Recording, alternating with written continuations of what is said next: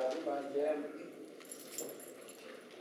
hôm nay chúng ta trong buổi thánh thì có ít người có anh chị em bằng công việc đi nơi này nữa khác như vậy thì chúng ta cũng đến đây để mà thờ của Chúa. Nếu chúng ta đến đây để thờ của Chúa nhiều ít người à, đông người chúng ta cùng nhau học lời Chúa và à, thờ của Chúa.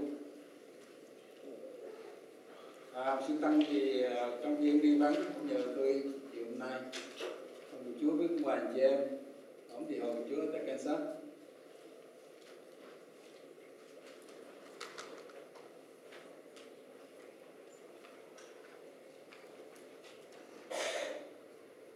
nay chúng ta cùng nhau học buổi chiều nay là đứng vững hiệp một và vui mừng.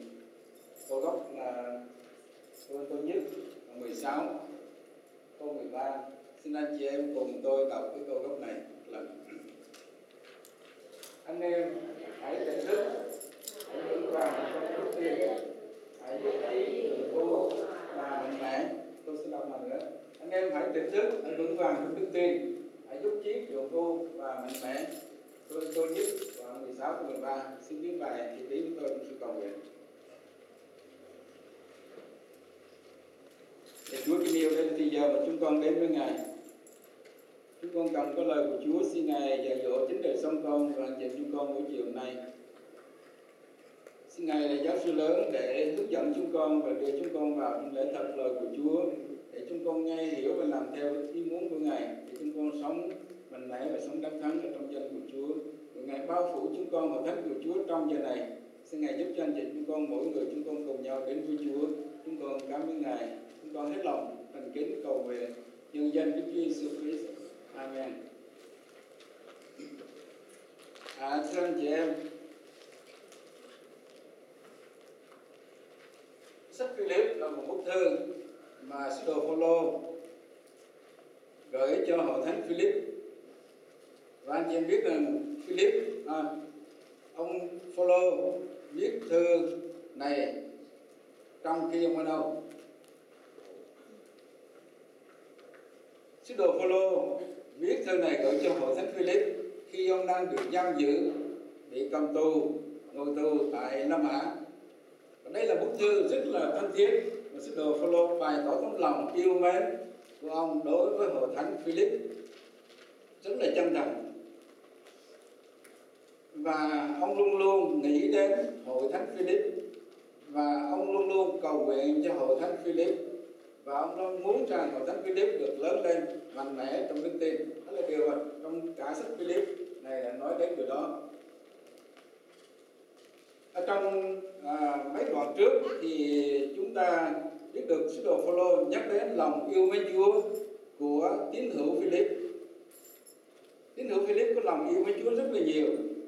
Họ đã vì tin lành của Chúa mà bước đi với Ngài, và họ đã vì tin lành của Chúa mà chiến đấu trong mọi hoàn cảnh khó khăn và họ đặt đức tin của mình nơi Chúa rất mạnh mẽ dầu trong sự khó khăn này sẽ đến thì họ vẫn vững lòng và tin cậy nơi Chúa và hết lòng phục vụ Chúa mà không sợ hãi gì hết. Đó là cái tinh thần của thánh Philip khi xưa trong khi Phaolô bị tù ở thành La Mã, thì thánh bên ngoài, tinh thần của họ như vậy. Họ rất là mạnh mẽ và vững vàng. Và hết lòng làm công việc của Chúa. Dầu vậy, dòng đa số thì như vậy, nhưng mà cũng có một số ít người tín hữu ở trong hội thánh. Thì họ bị số người giáo sư của do thái giáo đến dụ dỗ. Nên họ phân tâm và họ trao đảo cái niềm tin của mình. Những người giáo sư đó thì đến dạy họ và cần phải giữ phép cách biệt ở trong thời cửa. Và làm cho họ thì à, rất là phân tâm trong vấn đề niềm tin của họ. Nên ông đã à, khuyên họ khuyên họ hãy vững vàng. Và ông cho họ biết rằng địa vị của họ là công dân thiên quốc cho họ nhớ là địa vị họ là công dân thiên quốc. Bây giờ họ phải giữ đức tin của mình và họ trông chờ ngày Chúa trở lại. Đó là điều mà sứ đồ Phaolô muốn nhắc nhở cho họ. Qua cái đoạn 4 mà chúng ta cùng nhau suy gẫm ở đây, buổi chiều hôm nay. Ở trong đoạn 4 này thì à, chúng ta thấy là sứ đồ Phaolô nói đến sự vui mừng mà ông có được. Ở trong câu thứ nhất, chúng ta thấy này, vậy thì, hỡi anh em rất yêu, rất thiết là sự vui mừng còn bảo kỳ thêm cho tôi. Ông nói rằng hội thánh Philip, tín hữu Philip là điều mà ông rất là vui mừng, rất vui mừng cho ông. Hay là nói rằng anh chị em là niềm vui và là vòng qua chiến thắng cho tôi. Cái câu đó nghĩa là anh chị em là niềm vui và là vòng qua chiến thắng cho tôi vậy. Giờ tại sao, anh chị em nghĩ là tại sao tín hữu Philip lại là niềm vui cho sứ đồ Phaolô tại sao tín hữu Philip lại là niềm vui cho sứ đồ Phaolô của bạn chị em?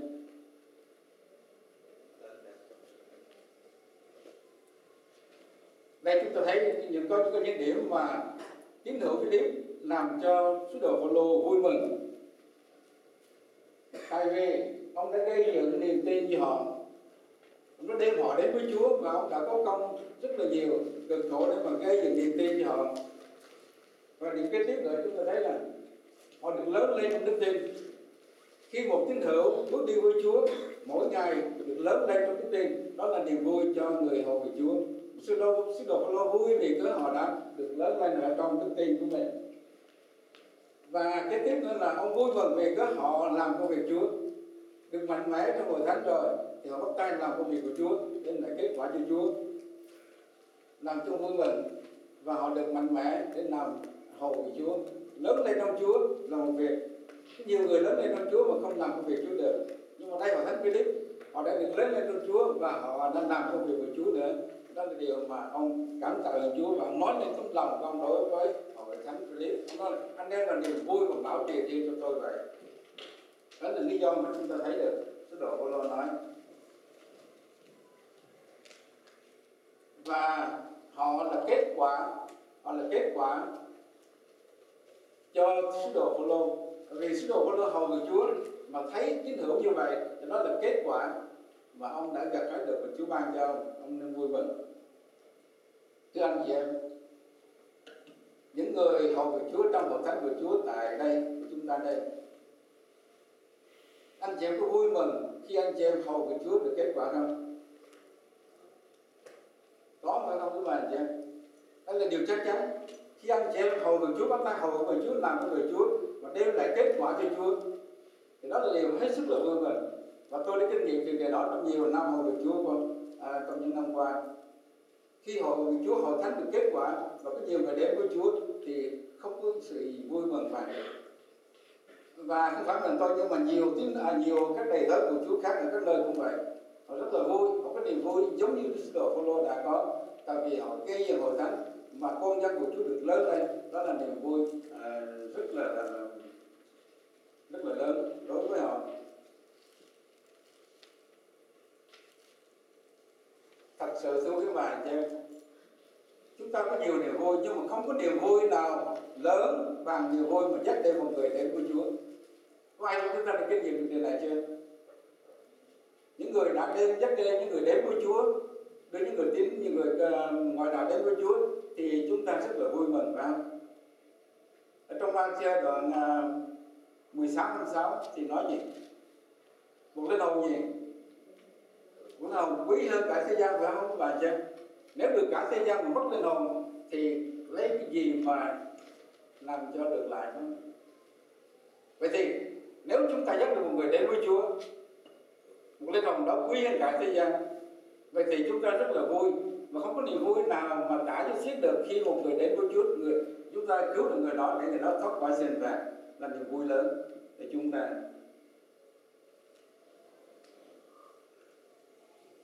Ở trong Luca đoạn 5 đoạn 15 câu thứ câu 10 thì nói rằng, ta nói cùng các ngươi, trước mặt thiên sứ của Đức Chúa Trời cũng như vậy sẽ mừng rỡ cho một kẻ có tội đến ăn năn không phải chúng ta vui mừng không? Nhưng mà khi chúng ta một người đến với Chúa thì trên thiên đàng thiên sứ cũng vui mừng nữa. Trong câu chuyện này trong Luca à, 15 nói về người con trai quan đàm cũng như người một người mất à, đồng bạc để tìm lại được. Đấy là lời của Chúa Giêsu nói. Vậy thì chúng ta vui mừng khi chúng ta hầu của Chúa được kết quả. Đây là tâm trạng của chúng được follow đã có được khi ông đem lại kết quả cho hội thánh Philip mong rằng mỗi người chúng ta, mỗi người chúng ta tại đây đều có được sự vui mừng đó, kinh nghiệm được sự vui đó, lần nào công việc Chúa được kết quả và nhất định người khác đến Chúa với Chúa. Anh chị có ao ước được như vậy không? Có ai có không ao ước gì đó không? Tôi nghĩ rằng khi chúng ta là con cái của Chúa, và khi chúng ta họ của Chúa bước đi với Chúa, thì đó là điều chúng ta ao ước trước tiên. Không phải mình chúng ta được cứu, nhưng mà người khác, thêm người khác đến với Chúa, đó là phước hạnh vô cùng. Quý bạn nhân tôi khích lệ chúng bạn dân cứ à, sốt sắng dạng dĩ xin Chúa giúp cho mình để mình có thể làm công việc Chúa được tài hội thánh của Chúa tại đây và giúp đem được khác đến với Chúa.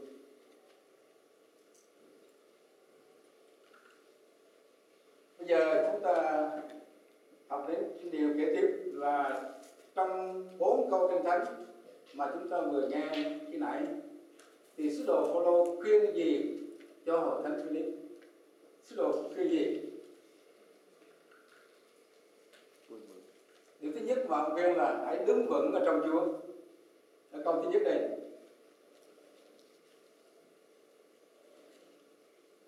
Vậy thì hỡi đem rất yêu rất thiết là sự vui mừng và máu truyền thiên cho tôi.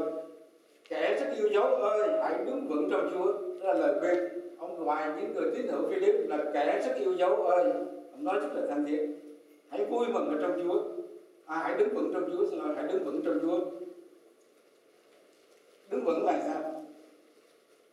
Chúng ta ai cũng biết đứng vững là cái thế đứng chúng ta vững vàng mà. Không nghiêng ngã không trao đảo à, không có lai chuyển. Đó là vững đứng vững trong Chúa. Đứng vững trong Chúa là chúng ta đặt đức tin của mình nơi Chúa trong Chúa. Không phải là chúng ta đứng vững ở ngoài người ngoài đạo trong đời thế gian này nhưng ta đứng vững ở trong Chúa như là đặt đức tin của mình ở trong Chúa ở trong danh của Chúa Giêsu Christ và trong chúng ta, bước điều của Chúa đức tin của chúng ta vững vàng. Đó là điều mà sứ đồ Phaolô nhắc nhở. Cái chữ trong Chúa, chữ trong Chúa thì à, cho chúng ta phân biệt được cái ranh giới ranh giới giữa đời và Chúa, ở trong Chúa và ngoài Chúa. Đó là cái ranh giới. Là một người tín hữu và một người ngoại đạo một người có Chúa và một người không có Chúa. Và để chúng ta số đồ số đồ Phaolô khuyên là chúng ta hãy đứng vững ở trong Chúa. Tức là trong nền tảng đức tin. Vững vàng trong nền tảng đức tin của chúng ta, đặt nơi Chúa Giêsu Christ hãy đứng vững. Đó chỉ trong Chúa. Và chúng ta suy nghĩ đến cái tiếp là tại sao? Tại sao sứ đồ Phaolô khuyên họ phải đứng vững? Ông khuyên họ đứng vững, mà tại sao và sứ đồ Phaolô khuyên họ phải đứng vững có hai lý do mà chúng ta cùng nhau suy gẫm tại đây. Lý do thứ nhất, mặc dầu tôi nói cái nãy, mặc dầu tín hữu Philip, họ vững vàng trong đức tin làm công việc Chúa được mạnh mẽ. Paulo rất là vui mừng. Nhưng mà trong số đó cũng còn có một số người yếu đuối, bị giáo sư giả tài giáo hoặc là giáo giáo sư do thế giáo đến bảo họ lôi họ trở về với cựu ước tức là bắt buộc phải chịu các cái vị mới được. Đó là à, tình trạng nó như vậy.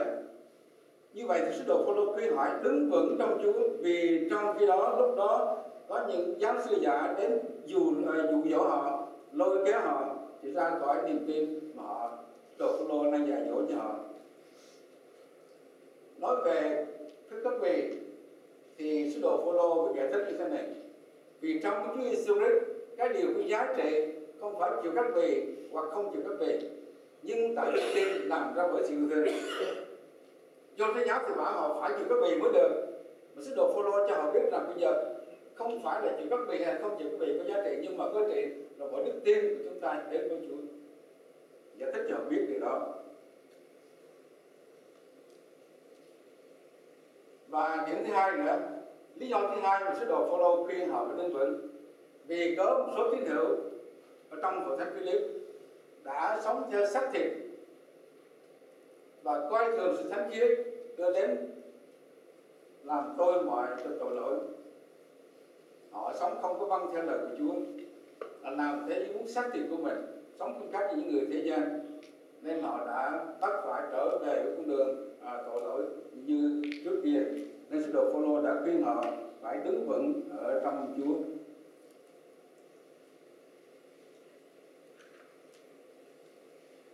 Phaolô muốn mỗi người chúng ta phải đứng vững ở trong Chúa. Phaolô khuyên một thế tín hữu phải đứng vững trong Chúa và khuyên chúng ta ngày nay phải đứng vững ở trong Chúa. Vì lý do nào mà chúng ta phải đứng vững ở trong Chúa? Điểm thứ nhất chúng ta thấy ở đây đứng vững ở trong Chúa để chúng ta sẵn sàng chống trả với ma quỷ. Nếu một người tín hữu mà không đứng vững trong Chúa, đức tin mình còn yếu kém, thiếu sự biết lời của Chúa, thì anh chị nghĩ là có dễ đứng vững hay là không? Bên ngoài thì tài giáo, tài giáo như này thì các cù rũ và thế gian này này lôi kéo mang cái sự cám dỗ đưa đến bạn bè người chưa biết Chúa quyến rũ chúng ta nếu chúng ta không đứng vững cái chúng ta mà không đứng vững thì làm sao chúng ta chống trả lại với quyền lực của sự tối tâm phải không quý mài chị em? Và sứ đồ Führer nói rằng, hãy đứng vững trong đức tin mà chống cự nó. Chống cự nó là sự cám dỗ quyền lực, sự tối tâm và ma quỷ. Chúng ta phải đứng vững để chống cự lại được. Nếu một người tín hữu mà không đứng vững thì không cách chi mà chúng ta giữ vững đức tin và chống cự lại sự cám dỗ và chúng ta sẽ mất linh hồn của chúng ta. Đó là điểm thứ nhất và điểm thứ hai những thứ hai là đứng vững để chờ đợi ngày Chúa đến mà không bị bỏ lại niềm tin. À, không bị để lại vì có chúng ta mất niềm tin. Chúng ta mỗi ngày mà chúng ta không gần gũi với Chúa mỗi ngày mà chúng ta không cầu nguyện Chúa dẫn dắt mình mỗi ngày mà chúng ta không học kinh thánh và à, lớn lên ở trong Chúa tìm kiếm Chúa thì dễ lắm mà chúng ta mất niềm tin anh chị nghĩ như vậy đúng không? Điều đó đúng hay là sai?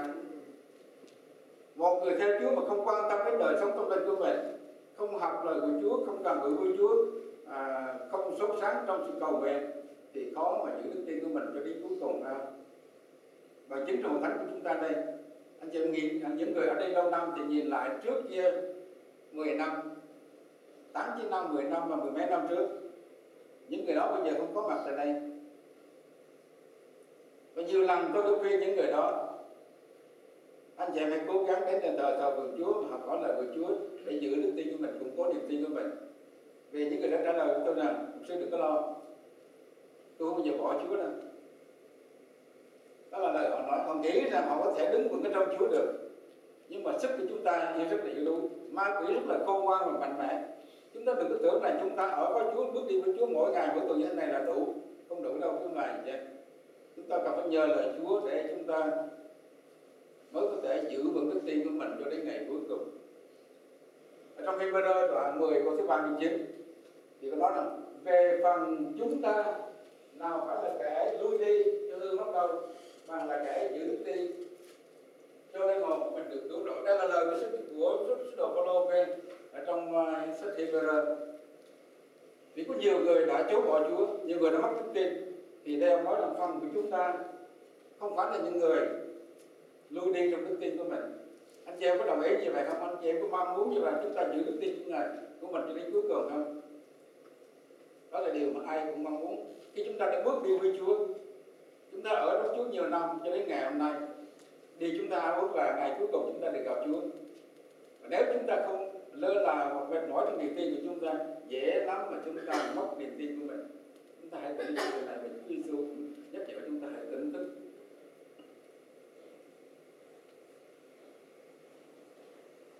Và đứng vững à,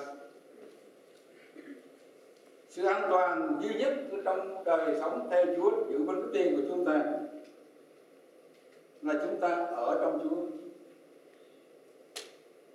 Chỉ có ở trong Chúa quý bạn chứ thì chúng ta mới được an toàn trong niềm tin của chúng ta mới là đứng vững, được Chúa bảo vệ chúng ta. Nếu ở ngoài Chúa hay là chúng ta không ở trong Chúa, mặc dù bước đi với Chúa là cơ đốc nhân, thì chúng ta không thực sự ở trong Chúa, thì khó mà chúng ta giữ đức tin của mình được. Chúng ta cần phải ở trong Chúa luôn luôn, và luôn luôn nhớ đến Chúa, đi với Chúa mỗi ngày, và sống trong sự diện của Chúa. Thì cái đó đó là cái điều an toàn nhất cho chúng ta tin anh chị em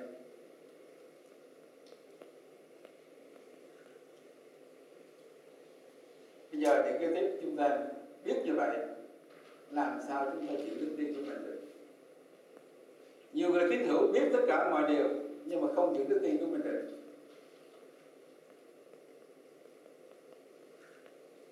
Điều thứ nhất là trong rễ và lòng này là trong Chúa. Càng trong rễ và lòng này là trong Chúa. Colosse đoạn 2 câu bài hãy chăm rễ và làm nền trong Ngài cái chữ chăm rễ và làm nền nói đến hình ảnh một cái cây, một cây đâm rễ xí lá rất là sâu chúng ta thấy những cây cổ thụ bao nhiêu năm, có trăm năm, mà vẫn vững vàng. Dầu cho mưa, bão, gió cùng thế nào đi nữa thì cây nó vẫn đứng vững tại vì sao? Tại vì cái rễ nó ăn sâu dưới lòng đất nhờ cái rễ đó mà cây vững vàng trong bao nhiêu năm vẫn không à, bị ngã. Đó là đâm rễ à, vững nền vững nền là nói đến cái, cái nhà. Cái nền của cái nhà lầu cao cũng đứng vững được thì phải có cái nền móng vững chắc.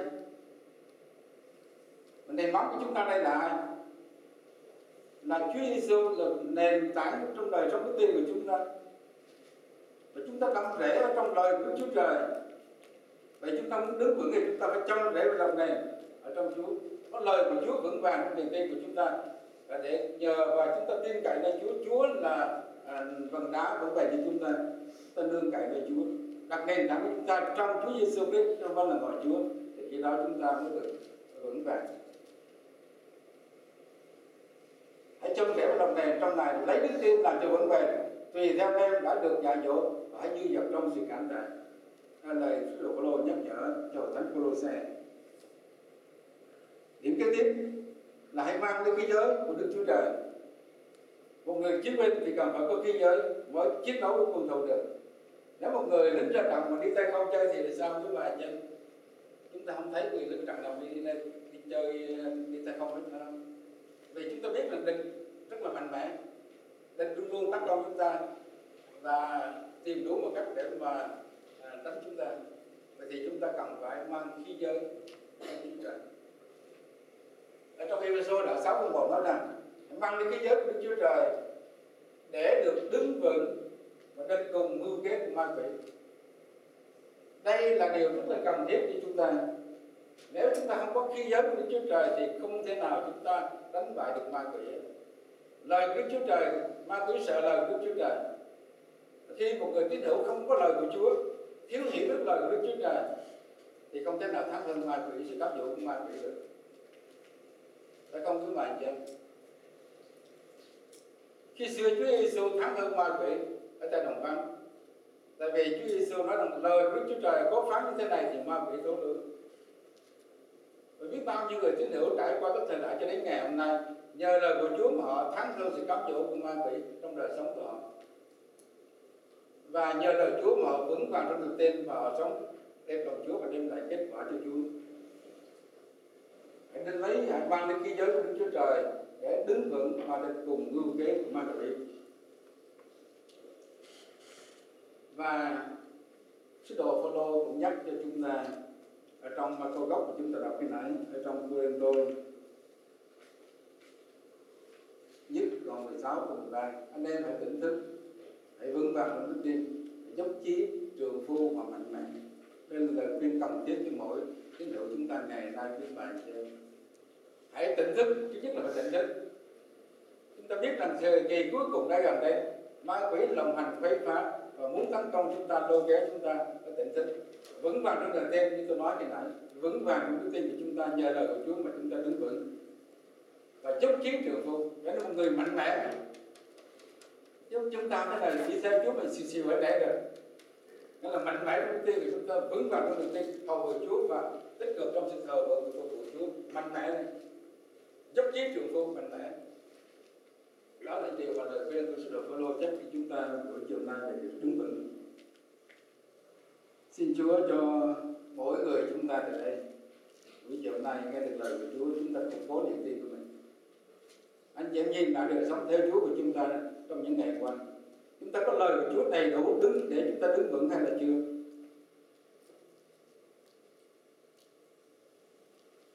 Chúng ta có sẵn sàng mang cái giới của Đức Chúa Trời để chúng ta đứng vững, để thắng hơn ma quỷ hay là chưa? Thì giúp chúng ta thấy được điều này, để là chúng ta cũng có niềm tin của mình. Nếu chúng ta thiếu những điều đó đó là điểm thứ nhất. Bây giờ điểm kế tiếp của chúng ta học sứ đồ Phaolô cũng khuyên điểm thứ hai là phải hiệp một ở trong Chúa.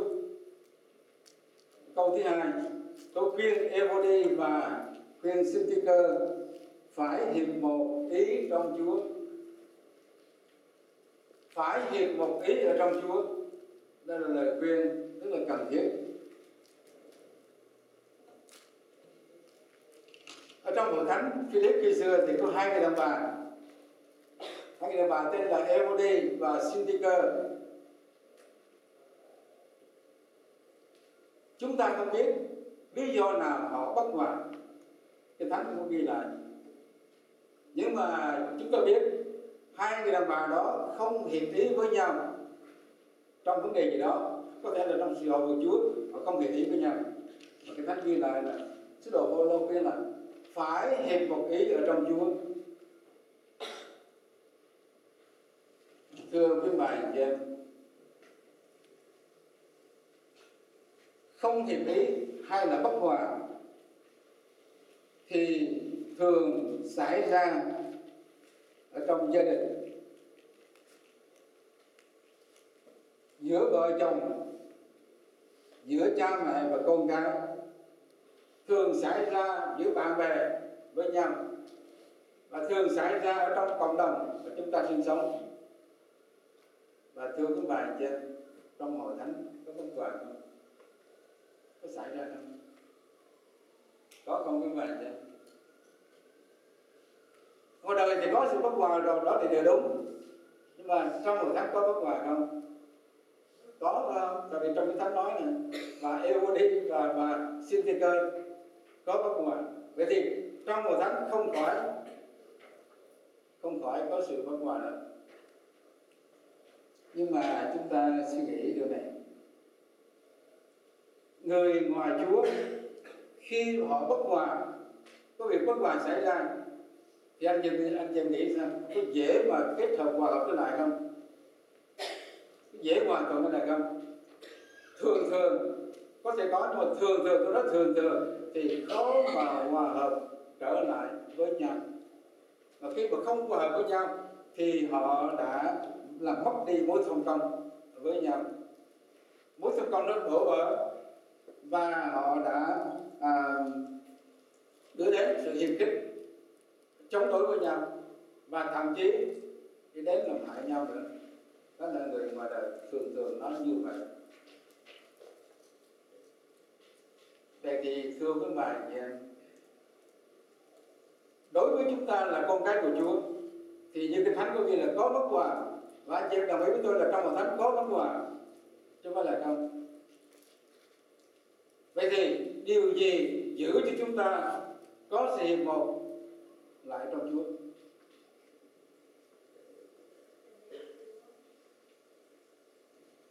Cảm ơn ờ, người đó là trong Chúa. Bây giờ chúng ta anh chị em nghĩ này. Chúng ta là cơ đốc nhân thì dầu cho chúng ta có khác nhau nhiều điều phải không các bạn chị khác nhau về lối sống trong gia đình phải không? Khác nhau về tính tình phải không? Khác nhau về trong hoàn cảnh của gia đình, về học thức, về địa vị, về cuộc sống, về công việc làm ăn.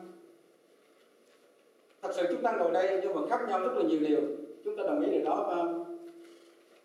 Không phải giống nhau hết, mỗi người có một hoàn cảnh khác nhau vậy thì mỗi chúng ta mặc dù chúng ta khác nhau nhiều điều, nhưng mà thương quý mày chị trong Chúa chúng ta có điểm gì chung? Cảm ơn cô thí còn cái gì nữa không? Con của Chúa. Chúng ta khác hơn những người ngoại đạo, tại vì họ không có Chúa. Và chúng ta là những người con cái của Chúa, chúng ta có Chúa, chúng ta có khác nhau, nhưng mà chúng ta có điểm những điểm chung. Điểm chung đó là gì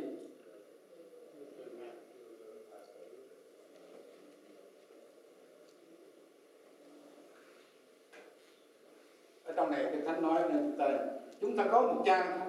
Có chung một cha phải không? Các bạn chị, anh chị và tôi kêu Chúa là cha.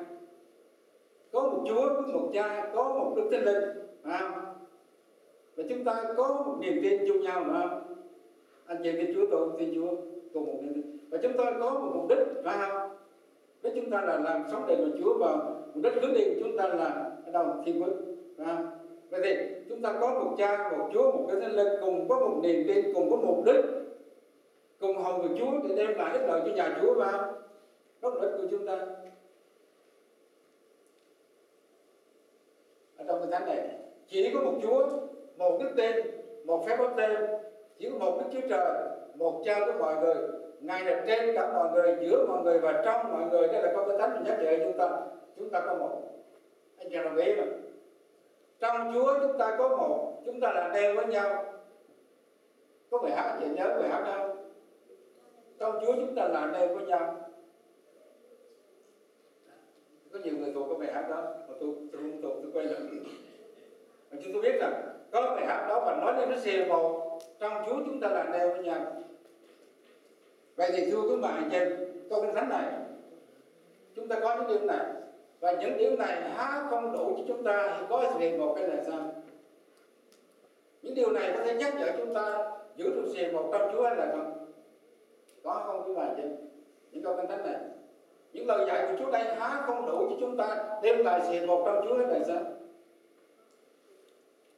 Vậy thì không có lý do gì mà chúng ta, Chúa đã dạy như vậy, không có lý do gì mà chúng ta đã phá nhau, gây rối rắm cho nhau và không có sự một nhau phải không? Tại vì chúng ta có cùng một Chúa, cùng một mục đích.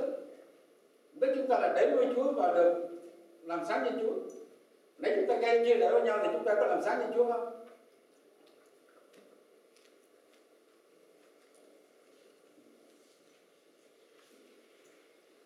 Sứ đồ Phaolô khuyên hai bà Syntyche và bà Evody ông khuyên là phải hiểu một ý trong Chúa. Đó là lời khuyên của sứ đồ Phaolô và ông làm gì nữa? Ông khuyên rồi ông làm gì nữa? Còn cái tiếp là gì?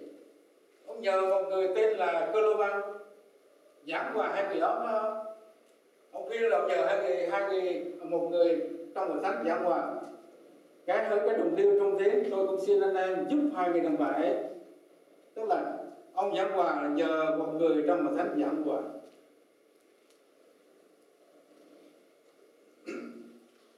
thưa quý bạn chị em,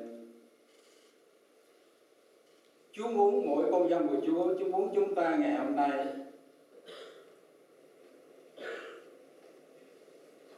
phải có sự một Chúa muốn người làm công việc Chúa phải hiệp một Chúa muốn mỗi người tín hữu trong hội thánh phải hiệp một Chúa muốn những người làm công việc Chúa có trách nhiệm đối với hội thánh phải hiệp một Hiệp một để làm gì?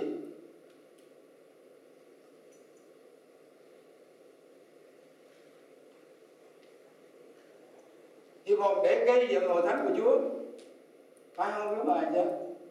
Nếu chúng ta không hiệp một, để chúng ta bất đồng ý kiến gây gỗ nhau, thì chúng ta có thể gây dựng hội thánh được không? Chắc chắn là không phải không như vậy vậy thì, người làm công việc chúa phải có sự hiệp một với nhau trước. Và người làm công việc chúa phải đem lại sự giảng hòa khi anh em trong hội thánh có sự bất hòa với nhau. Trách nhiệm của người hầu của chúa. Sứ đồ Phaolô khuyên phải hiệp một sứ đồ Phaolô nhờ một người trong hội thánh giảng hòa. Và là những người làm công việc Chúa, ngày hôm nay trong hội thánh, khi hội thánh có sự bất hòa giữa người này với người khác, thì người hầu của Chúa phải giảng hòa, đem lại sự giảng hòa cho hai người đó và để cho hội thánh được hiệp một. Đó là lời khuyên của sứ đồ Phaolô nhưng mà thưa quý bà chị em, nhiều khi, nhiều lúc, chúng ta thấy rằng người làm công việc Chúa không có đem lại sự giáng hòa giữa hai người trong hội thánh bất hòa, nhưng mà còn rêu rắc ra sự bất hòa đó cho những người nhiều người khác biết, nhiều hội thánh khác biết nữa.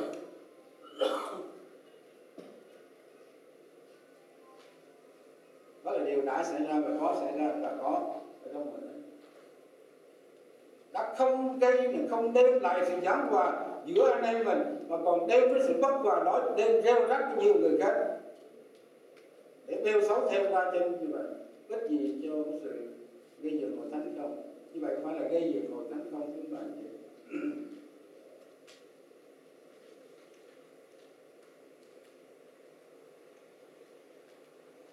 Bây giờ, làm sao có sự một? Như tôi nói thì nãy, trong hội thánh, mỗi người chúng ta một ý. Tôi nói là chín người thì phải 10 ý. Nếu mỗi người chúng ta cứ làm thế giới riêng của mình ý của mình cho là đúng bắt thì khác ba theo thì làm có hiệp một được không chắc chắn là không vậy thì muốn có sự một ở trong hội thánh, thì chúng ta cần phải cần phải làm gì đây? Loại bỏ những sự khác biệt nhỏ nhặt. Có nhiều sự khác biệt như tôi nói có nhiều sự khác biệt trong mỗi người chúng ta. Những điều đó không có đáng để mà để chúng ta có thể gây gỗ với nhau chúng ta loại bỏ tất cả những sự khác biệt ra đi và những ý riêng tư của mình.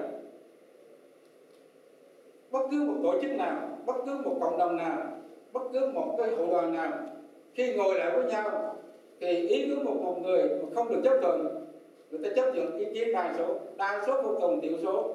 Một ý kiến chúng ta dù hai đến đâu đi nữa mà không được chấp nhận, thì chúng ta bằng lòng hạ mình xuống để mà thuận phục. Theo là cái ý chung đó là nguyên tắc chúng ta cần phải bỏ những sự nhỏ nhặt của mình ra, riêng tư của mình ra để mà chấp nhận những ý kiến chung. Mà khi đó chúng ta mới gây dựng hội thánh được. Nếu mà chúng ta cứ giữ ý kiến riêng của mình, đã có ý kiến chung, không, người ta không đồng ý thì bỏ, không có không có dự phần nữa, thì điều đó là có đúng không? Như vậy thì không bao giờ chúng ta có được sự một với nhau chúng ta cần phải loại bỏ tất cả những ý tiên của mình ra để mà chấp nhận ý kiến chung. Và khi chúng ta chấp nhận ý kiến chung dầu chúng ta có bị thiệt thòi, dầu chúng ta có mặc cảm thế nào đi nữa, mà chúng ta bằng lòng chịu như vậy thì dân Chúa mới được tôn cao.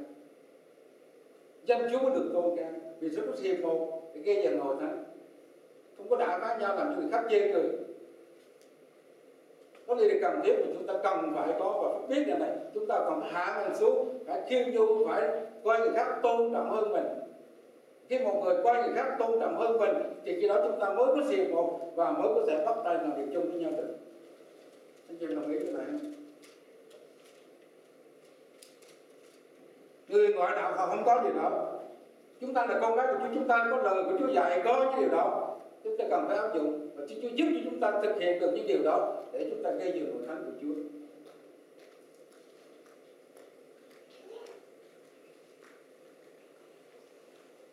Lời của Chúa trong à, sứ đồ Phaolô có nhắc nhở.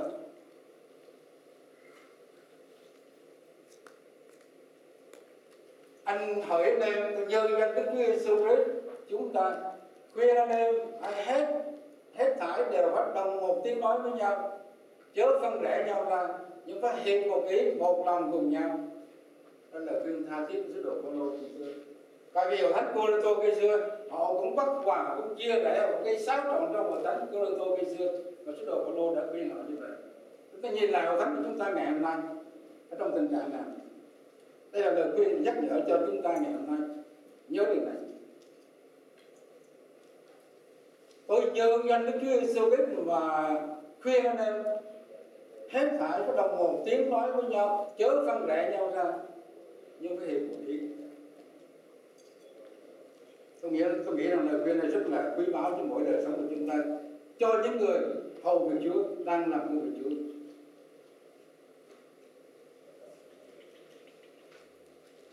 Và thưa quý bạn khi chúng ta chia rẽ, thì ai mừng đúng không? Ai có lợi? Tại sao vậy? Chúng ta có thấy gì đâu? Mà thánh chúng ta chia rẽ với nhau đây làm sao là ma quỷ mừng được. Thật sự như vậy như vậy. Công việc Chúa ma quỷ luôn luôn chống phá công việc của Chúa. Chúng ta làm công việc Chúa ma quỷ cản trở không muốn chúng ta làm. Và chúng ta gây chia rẽ nhau là ma quỷ mừng đúng kế của ma quỷ à, ma quỷ muốn phá hoại hội thánh. Thì chúng ta làm như vậy là gây hội thánh xô lộn xộn với nhau. Đó là trúng kế của ma quỷ ma quỷ mừng. chúng ta là con cái của Chúa chúng ta tiếp tay cho ma quỷ thì đó được không? Anh chị em quên như tỉnh thức điều này, đừng có bao giờ tiếp tay cho ma quỷ trong cái việc gây xáo trộn hội thánh để ma quỷ ăn mừng.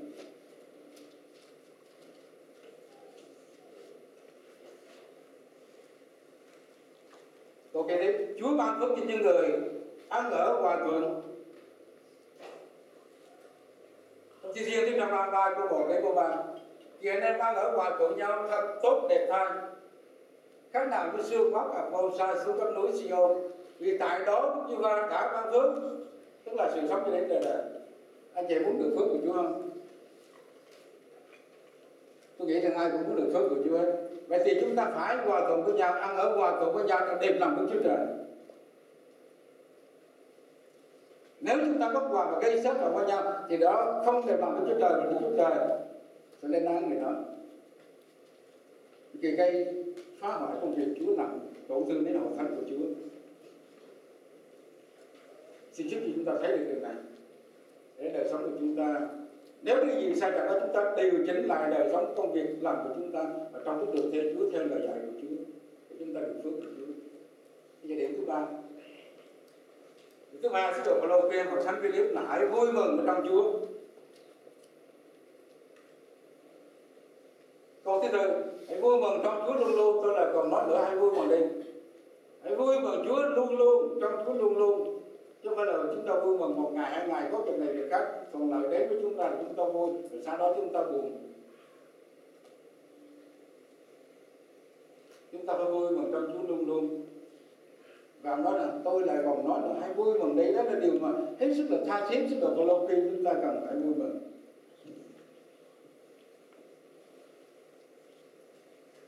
Anh Thiện có vui không? Giờ chị ngồi đây có vui không?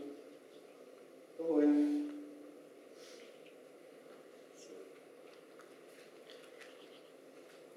Tại sao anh Thiện vui? Tôi nghĩ là cái nhiều lý do chúng ta vui phải không vui về cuộc sống của chúng ta chúng cho đủ mọi thứ này hết và chúng ta vui được ở trong Chúa và chiều nay nhớ vào từ đây chúng ta vui nó là điều vui chắc chắn thôi.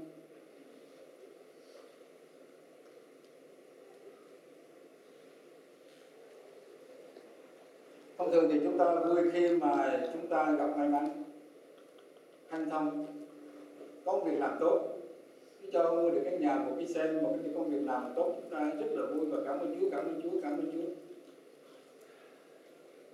Cho được sức khỏe Việt Nam vui vẻ là khác rồi, và con gia đình được sinh hoạt vui vẻ là cảm ơn Chúa, cảm ơn Chúa, ngày nào cũng cảm ơn Chúa, chúng ta vui. Và khi chúng ta phát hiện ra rồi, chúng ta hết hết cảm tạ chúng nữa. Thế thì sự vui đó chúng ta theo thời tiết theo hoàn cảnh chúng ta